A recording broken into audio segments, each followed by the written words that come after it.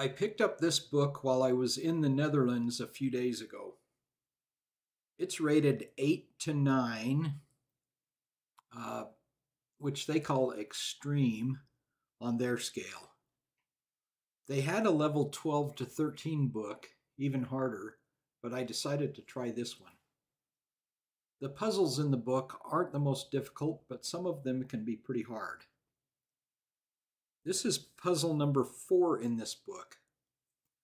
I puzzled over it for a little while, pun intended, but I found triplets and a unique rectangle that helped me get past a sticking point. I'll let you know when I get to that point. Um, I've had many people request that I write in candidates over the years in comments. However, this channel is dedicated to solving puzzles without marking candidates, so I don't take any notes while solving them. Learn patterns and techniques to solve puzzles without, without pencil marks or marking candidates at sudokuprimer.com. You can also find lots of other Sudoku information out there. All right, let's get started with just a few easy numbers here. Get them out of the way. Okay, this box is only missing 1, 2, and 8. There's a 2 there, so that's a 2. Um, and 1 and 8 are missing. There's an 8 there.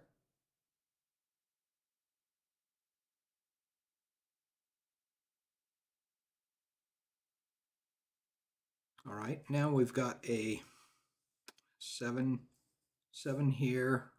That makes that a seven. That's a loner cell also right there. All right, one of these is a seven. Got a seven there, seven there, so that's a seven. So that makes that a seven.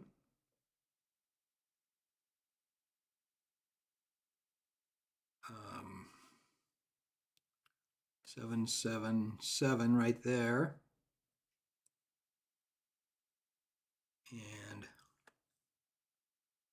seven there.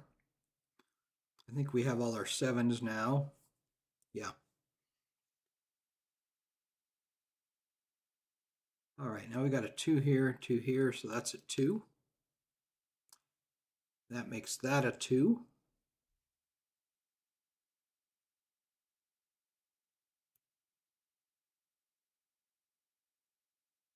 Two, two, two there, two there.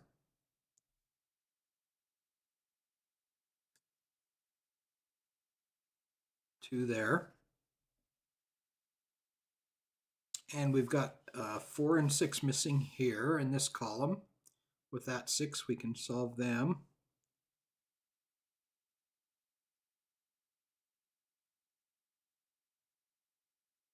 All right, with that four, we've got another loner cell here, 6374, 6374.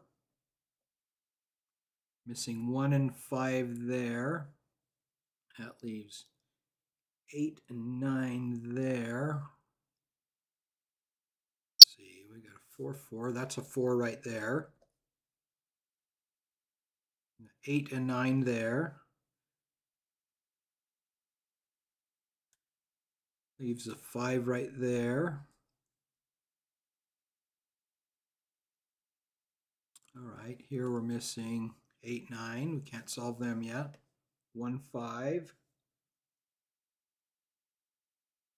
All right, we're missing 6 and 9 there. With that 6, we can solve them. 6 and 9.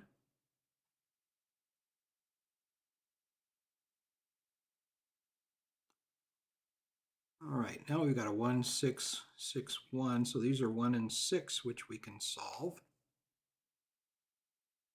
Oops. Okay, that leaves 3, 4, and 8 there. So that's a 5.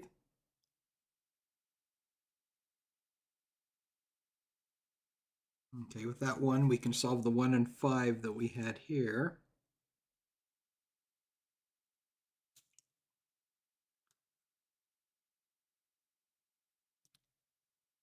I got one, one, one, one, so that's a one right there.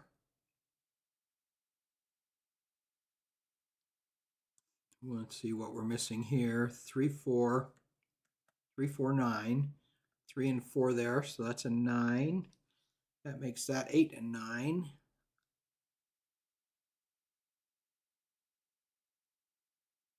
And let's see, I think uh, we're pretty much to a point where we can't do much more here. Six and nine there.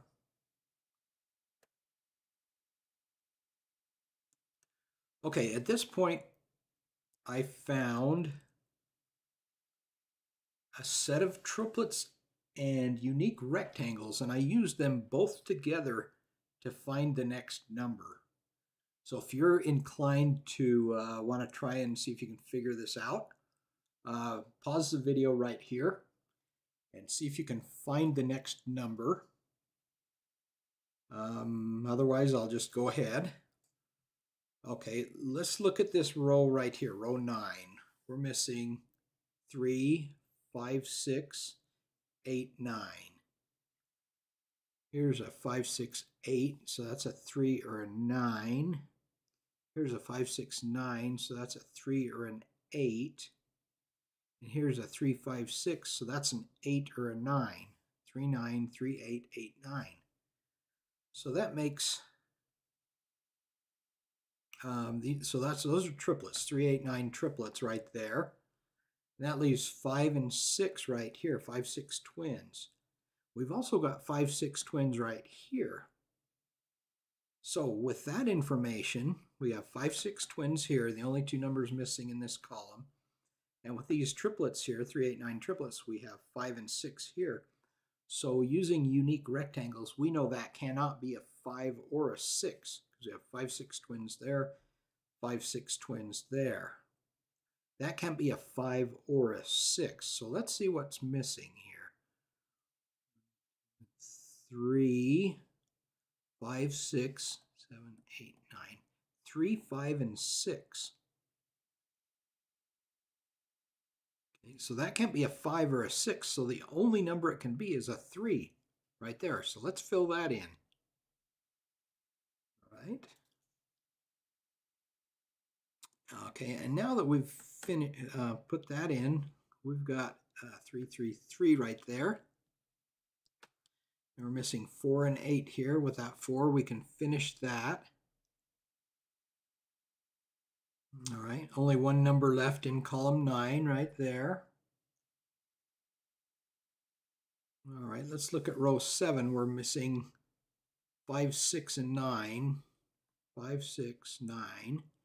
There's a five and a six, so that's a nine. Five, six, five, six. This is a six or a nine, so we can put the 6 and the 9 there, put a 5 there and a 6 there. So 5, 6 twins right here, that's a 5. Right?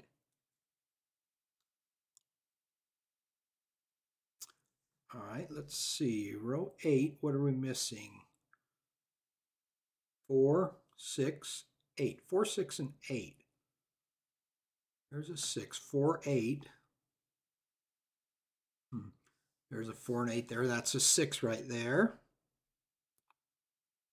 Four, eight, four, eight. There's a four there, so eight, four. Now we've got three, eight, three, nine, eight, nine. There's an eight, so that's a nine. Three, eight there, three, no. Let's see. We got three and eight missing, eight there, so that's a three, and that's an eight. All right, and now the only thing we're missing is a three and a four in box one. With that three, we can finish those. And we've got it. All right. Well, that was really the only thing that the only sticking point in this uh, puzzle was uh, we got a pretty difficult setup there. Um, but then when we found these 389 triplets here, and these 5-6 twins. Then with these triplets, we found another set of 5-6 twins.